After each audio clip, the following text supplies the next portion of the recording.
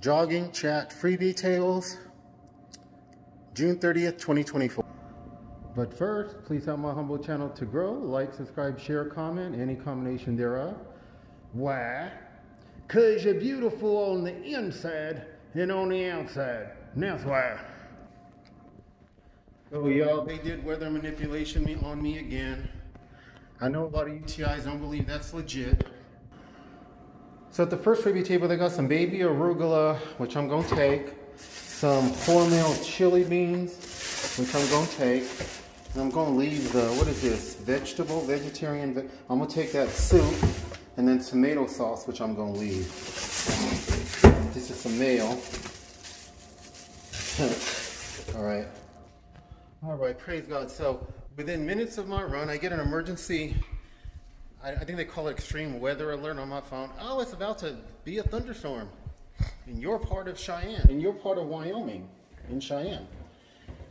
Within minutes of leaving for my run, and then within um, seconds of starting my run, it starts to rain. Y'all can't really tell, but I'm soaked. This actually, the shirt looks the same. You can kind of still see it on my glasses. And this is, I've been in, I've been indoors for quite a few minutes already. The water still ain't dry. And we in Wyoming, which is a very dry climate, the water dries fast. But um, I decided to be stubborn and went running anyway. It's a 29 minute run. And more than anything, it's a celebration, celebration of God, celebration of his will, celebration of his goodness. The fact that I'm on week number 14 of my run. Yes, I gotta wash my shoes, y'all, but I already know how to disinfect them, so it's not a big deal. They can be washed in just a few minutes and then set in front of a fan. So I'm not tripping on that. It's not fun, but it's, my yoke is easy, my burden is light, Jesus said, so. Y'all, I'm surprised that door is even unlocked. All right. Um, it usually won't open automatically at this time. These split peas have been sitting here for a while. I think I'm going to take them. I know that once I find a good recipe for split pea soup, I like split pea soup, y'all. What is the, what is the um, protein? I'm curious. The protein is 8 grams. Y'all can see that. And the carbs are 21 minus 7, so it's 14 grams of actual carbs. That's You got to deduct the fiber.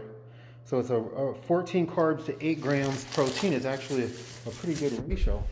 Any kind of a non-meat. But yeah, I guess today was one of them days where God, well, I was stubborn, y'all. And um, I think I'm, I'm gonna save a little bit of time on this because I'm gonna take off my shoes in front of y'all and I'm gonna squeeze out the water from my socks so y'all see I really am soaked. But I praise God, I never would have thought, I mean, I know God can do it, but I never would have thought he would bring me to the point where I would be able to jog more than 13 weeks. This is week number 14, it's my first run.